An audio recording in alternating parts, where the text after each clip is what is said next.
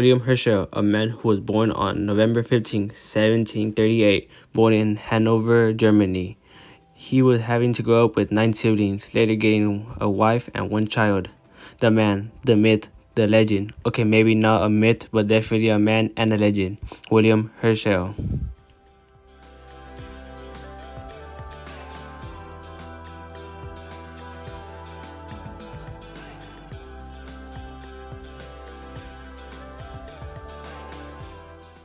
He showed us that light is not the only visible wavelength we could see. He wanted to prove the light in the colors could be at different temperatures. He made a theory about stellar evolution. He said that nebula is made from stars.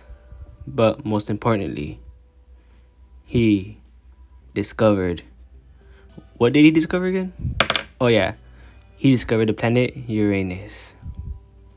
He discovered the planet Uranus in March 13, 1781. He discovered it by looking at the stars in the night sky by using a telescope that he built himself. Wow.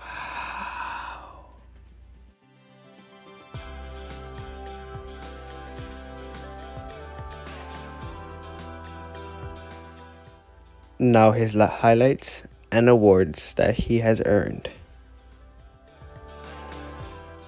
He won the Copley Medal in 1781, and some highlights is that he discovered Uranus.